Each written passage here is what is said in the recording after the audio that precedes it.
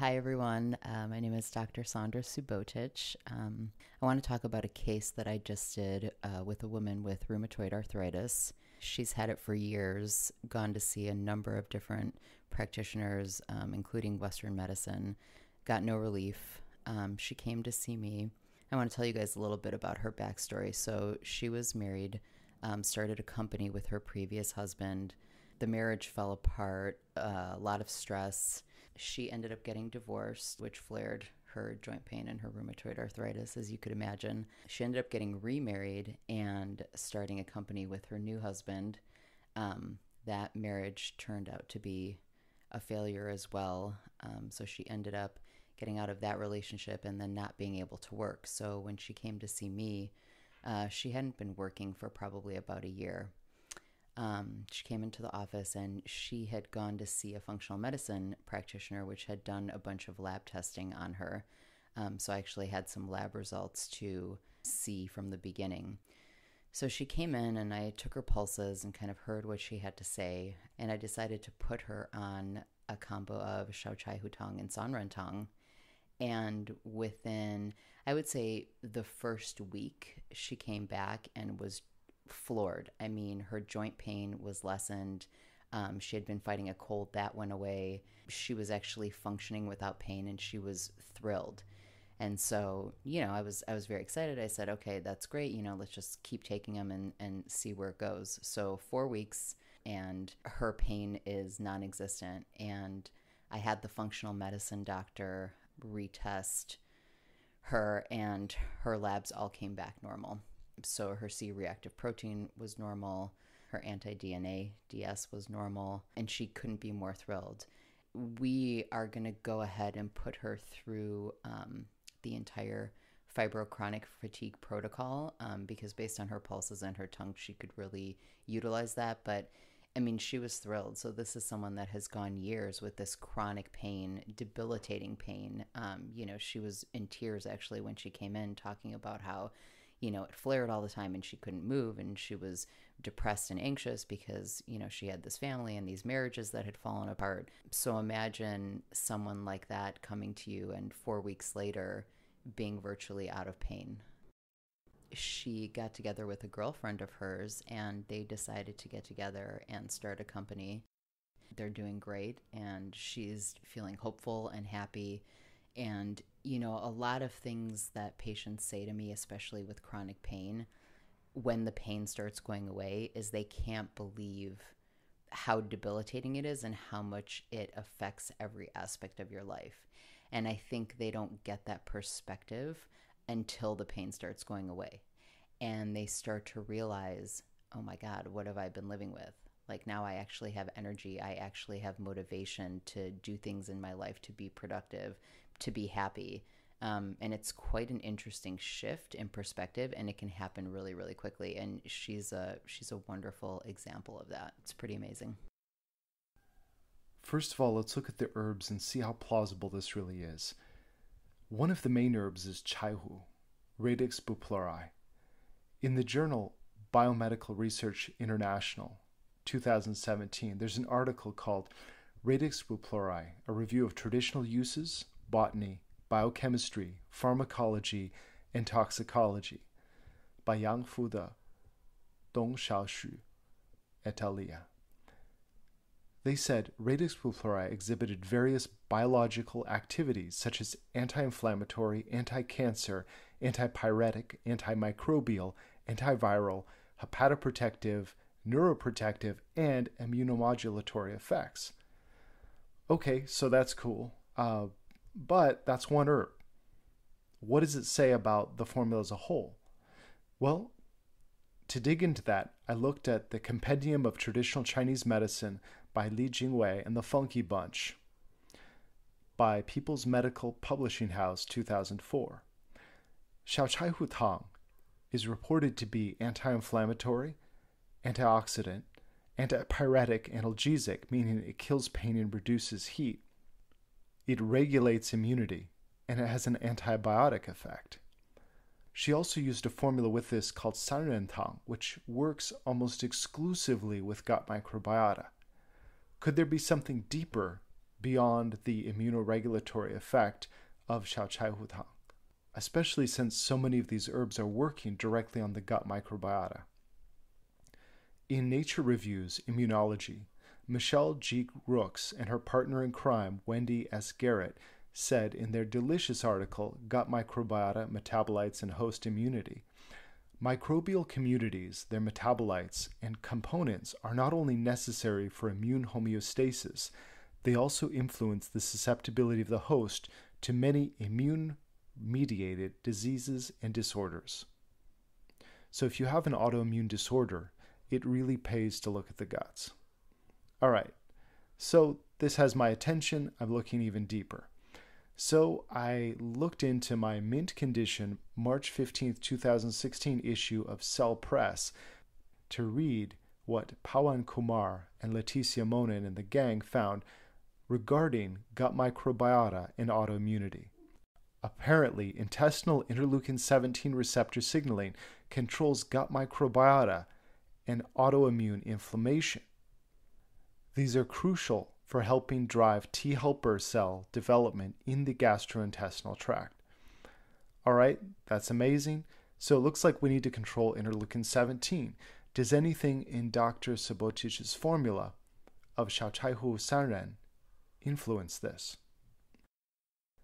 According to Shuiyang, Jiyang, and He Jianzhou, a component of Huangqin Baikalin inhibits interleukin 17 mediated joint inflammation in murine adjuvant induced arthritis. Okay, case closed. So that means we just need to use Baikalin, right? That cures rheumatoid arthritis. If we can just isolate this, it'll work much better. Well, actually, no. It will drop inflammation, has this effect, but long term, we have to look at cultivating the gut and how that influences long term immune regulation. And to do this, we have to look at the relationship of liposaccharides and blood toxicity. Liposaccharides are also called endotoxins. They're lipid soluble components of gram negative bacteria. The bacteria colonized in the intestinal tract are a major source of liposaccharides in people. Uh, it's important to remember that liposaccharides can be translocated from the intestine to the blood circulation, which is nasty. So, the grosser your diet, the more these endotoxins are kicking around the gut and the more they get into your bloodstream. This causes something called endotoxemia, and that's associated further with stress. So, it seems that liposaccharides will gum up the tight junctions. This causes more intestinal permeability, and stress also increases this intestinal permeability, causing your blood to be sort of full of shit. And that influences people's temperament, it influences you know, personality shifts, memory, and it really screws up the endocrine system as well. So, before we get into that, we're going to look at some enterotypes. So, we look at ancient ideas of a yin body or a yang body. So, a yang body is thin and a yin body is fat. And maybe if we look at Greco Roman medicine, we have uh, maybe somebody who's more phlegmatic versus sanguine. Well, they're starting to look at the proportions of bacteria in the body, like Bacteroides and Firmicutes, and looking at which ones, which percentages of one versus the other will cause people to be fat or lean, and uh, which types, basically, the chunkier you are, the more likely you are to have the um, enterotype leaning toward firmicutes and the endotoxemia associated with the obesity and autoimmune disorders. Now, this can happen in people who are not obese. It's just kind of a shorthand. If you're obese or you see someone who's obese, you're more likely to have that. It's also really cool because a high fat diet will increase this. However, for all of you ketogenic fans, worry not. The ketogenic diet actually um, decreases it. So high fat diet, you know, like you're eating bacon with your cornflakes, then the liposaccharides and endotoxins are going to be spiking and held up, being held up in your body for much longer. But if you're ketogenic, that's not the case. The modern diet with preservatives and heavy fat consumption causes excess liposaccharides, and these cause internal chaos. So, liposaccharides have risen in the US diet over the last 50 years, along with obesity and prevalence of diabetes. Now it's spiking in China as people can afford to eat more meat. The shift from a plant based diet to a more meat and fat and grain kind of diet is associated with increased obesity, lowered fertility, and autoimmune disorders. So while we can shift our diets to help a lot, that doesn't necessarily clean the blood directly. So we can shift our gut microbiome rather quickly, but the damage caused by years of endotoxins getting in there, by bacteria going right into the blood, bacteria we don't want there, holding up and causing microbial biofilms with fungi, bacteria, and uh, viruses teaming up to eat you, tear you apart. These have to be dissolved over time. So that's why there are herbs in this formula that dissolve the biofilms. In this case, it wasn't simply that, oh, well, the patient took some herbs that shifted the gut flora. Yes, that's true.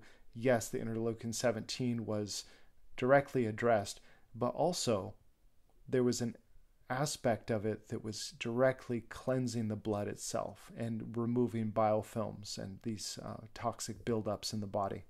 And this is really important because liposaccharides engage in something called molecular mimicry. And this is why everybody thinks that they have a thyroid problem. They have a thyroid deficiency. They have a testosterone deficiency, an endocrine problem of some sort. However, don't get derailed. This derails Western medicine practitioners. This derails Chinese medical practitioners because it looks like a deficiency and everybody wants to nourish that deficiency. However, if the patient is not starving and running through the woods digging up roots and scratching for occasional worms, they probably have no real deficiency. Even hormonally, their adrenals may not be as burned out as they look. There's a lot of molecular mimicry that goes on with these liposaccharides. And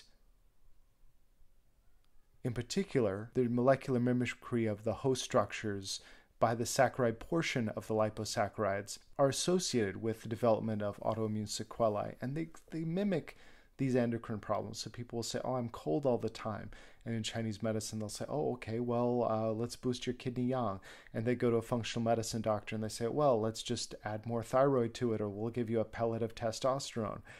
This causes short-term benefits, but in the long run, it actually makes the problem worse. Whether or not it's associated with the doctor or not it is making the problem worse if it's actually caused by these liposaccharides. And in this day and age, more often than not, it is.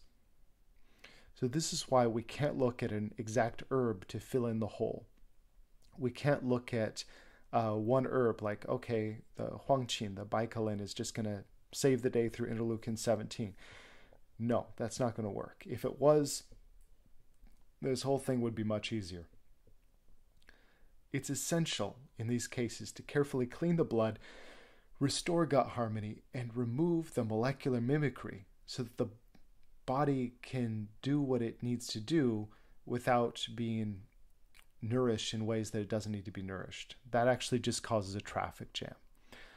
So, the brilliance of Dr. Subotich's work is that she didn't overdo it. You know, you've got a stick in the spokes of a bicycle. It doesn't mean you need to pedal harder. It means you just need to remove the stick. Sometimes it's doing less and getting rid of what's in the way that's the most important. It's all too easy, especially for natural health folks, to just think we just need to nourish people to health, but that is not the case. Sometimes all that nourishment goes right to the wrong kinds of bacteria, feeds them, gums them up, and then they start to gnaw through your intestines get right through those tight junctions and start polluting your body and making you ferocious and nasty and causing your joints to swell. It's not a good time. So look at what's wrong, remove it, and save the overdoing it for, I don't know, interior decorating. Keep in mind that the exact herbs that she used, Xiao Chaihu and Sanren, are not what's important. What's important is that you're looking at modern people with modern challenges and you're considering that first rather than going to an ancient textbook forgetting that our GI tract, our enterotypes are perhaps very different from struggling farmers. If you're not taking that into consideration, then you may not be accurately serving your patients. Now, for that particular formula, We call it WIND, and if you're a practitioner, you can find it on botanicalbiohacking.com. Sign up for a practitioner account. We have highest quality on the planet as measured by labs. We actually have the chaihu and this is wild crafted from the Tibetan plateau. This is the highest quality on earth. However, if you're using general uh, C grade quality, which is generally available, it's also very good. So just because we have extraordinary quality doesn't mean that it won't work unless it's extraordinary quality. It just means that the patient may get there faster with fewer side effects. So if you're a practitioner, keep that in mind. Thanks so much for listening to the Botanical Biohacking Podcast, and thank you so much, Dr. Sandra Subotich, for your incredible work. I love you all, and make sure you get to sleep on time. I know you, you know, you stay up at night and all of that, but um, you know the blue blocker sunglasses will only do so much. Try to get to sleep early, and you know, really take care of your body.